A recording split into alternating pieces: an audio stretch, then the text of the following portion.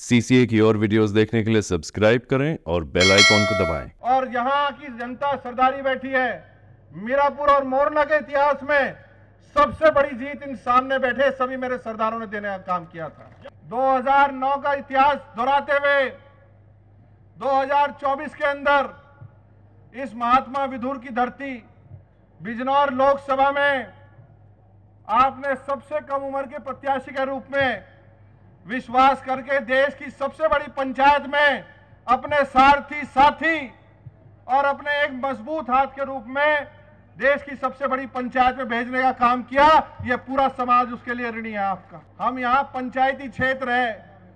स्वर्गीय चौधरी चरण सिंह जी का, स्वर्गीय बाबू नारायण सिंह जी को मानने वाले लोग हैं। ये जानते हैं, मेहमान आएगा तो बढ़िया दूध पिलाएँगे, काजू बादाम खिलाएँगे और बढ़िया मिलाई दे के भेजेंगे। पर वोट जयंत चौधरी जी की है और किसी की इस क्षेत्र में नहीं है। और पूरी सरदारी यहाँ बैठी है। मुस्लिम समाज, अल्पसंख्यक समाज, दलित समाज, पिछड़ा समाज, आज छत्तीस बिरादरी यहाँ बैठी है। वो चाहती है आपके एक निर्देश को लेना। जब सड़कों का हाल खराब था, चौधरी साहब ने एक बार कहा, आपके लिए 28 करोड़ रुपए की बीआईटी से लेकर देरे सादात तक की सड़क पूरा बनाने का काम किया। आपके लिए अड़तीस से अधिक सड़कें जिन्होंने ना धर्म देता, ना जाति देखी, हर समाज की, हर गाँव की सड़क यहाँ बनाने का काम किया। जितने मत मुझे 22 में और 24 में मिले, उससे हर मत में ज़्यादा बुआ जी को मिलकर जीने का यहाँ से काम करेंगे।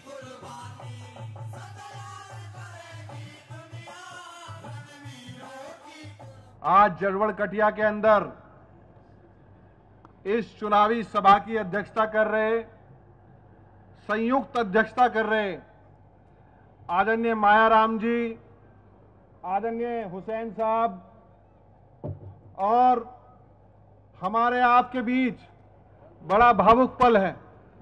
मैं याद दिलाना चाहता हूँ आदरणीय चौधरी साहब को, जब स्वर्गीय चौधरी अजीत सिंह जी ने आदेश किया था स्वर्गीय संजय चौहान जी को कि मिथिलेश पाल जी 2009 के उपचुनाव में जिता के लाना है। उस समय भी आदरणीय जैन जी इसी गाँव में आए थे और इसी सरदारी के सामने जो है जोरदार तरीके से अपील करके गए थे। और आज फिर सौभाग्य है, हमारे आपके नेता और पश्चिम उत्तर प्रदेश नहीं, देश के सबसे बड़े चौधरी, आदरणीय जैन चौधरी जी का जोरदार तालियों के से स्वागत करने का काम करें। उनके साथ चल के आए। हमारे समाज की नाक और आदरणीय मोदी जी के आशीर्वाद को प्राप्त करके समाज की और सर्व समाज को साथ लेके चलने वाले ऐसे हमारे कृष्णपाल गुजर जी, उनका भी हम जोरदार तालियों के साथ स्वागत करते हैं। आदरणीय मंदन भैया जी, आदरणीय तमाम अनिल मंत्री जी से लेके तमाम विधायकगण और जिनके लिए महफिल सजी है, आदरणीय मिथिलेश पाल जी और तमाम राष्ट्रीय लोकदल और भारतीय जनता पार्टी के सब सांसदगण, पूर्व सांसद, विधायक, पूर्व विधायक, तमाम पार्टी के पदाधिकारी, मैं सबका जड़वड़ कटिया की इस ऐतिहासिक पावन धरती पे आप सबका स्वागत करने का काम करता हूँ। आदरणीय चौधरी साहब, आपने बहुत छोटी उम्र में पिताजी के जाने के बाद राजनीति में कम से कम और वैसे भी आपने कभी उनकी कमी महसूस होने नहीं दी। हमेशा जब ज़रूरत पड़ी, आप हमेशा एक परिवार के मुखिया की तरह, एक संरक्षक की तरह हमेशा आपने संरक्षण देने का काम किया। मात्र तीस इकतीस साल की उम्र में जब खेलने और कूदने की उम्र होती है, इस उत्तर प्रदेश की सबसे बड़ी पंचायत विधानसभा में आपने भेजने का काम किया, टिकट देने का काम किया। और यहाँ की जनता सरदारी बैठी है। मीरापुर और मोरना के इतिहास में सबसे बड़ी जीत इन सामने बैठे सभी मेरे सरदारों ने देने का काम किया था। फिर 2009 का इतिहास दोहराते हुए 2024 के अंदर इस महात्मा विधुर की धरती बिजनौर लोकसभा में आपने सबसे कम उम्र के प्रत्याशी के रूप में विश्वास करके देश की सबसे बड़ी पंचायत में अपने सारथी साथी और अपने एक मज़बूत हाथ के रूप में देश की सबसे बड़ी पंचायत में भेजने का काम किया यह पूरा समाज उसके लिए ऋणी है आपका।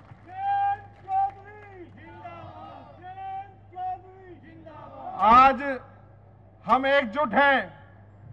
हम जानते हैं, हम यहाँ पंचायती क्षेत्र है। स्वर्गीय चौधरी चरण सिंह जी का स्वर्गीय बाबू नारायण सिंह जी को मानने वाले लोग हैं। ये जानते हैं मेहमान आएगा तो बढ़िया दूध पिलाएँगे काजू बादाम खिलाएँगे और बढ़िया मिलाई दे के भेजेंगे। पर वोट जयंत चौधरी जी की है और किसी की इस क्षेत्र में नहीं है। आदरणीय चौधरी साहब आपका ऋण है हमारे ऊपर और पूरी सरदारी यहाँ बैठी है।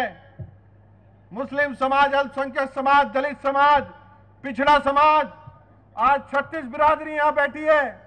वो चाहती है आपके एक निर्देश को लेना। यहाँ खड़े होके वो आपका एक निर्देश मानने का काम करेंगे। अपने आप को प्रत्याशी मान के, जयंत चौधरी मान के, मुख्यमंत्री जी मान के, आप सब गली गली गाँव गाँव जाने का काम करेंगे। कोई नाराज़गी नहीं होगी। ये मत सोचना कि मेरे घर प्रत्याशी नहीं आई, मेरी गली में नहीं आई, मेरे गाँव में आई। बताओ, हाथ उठा के कोई नाराज़गी तो नहीं है?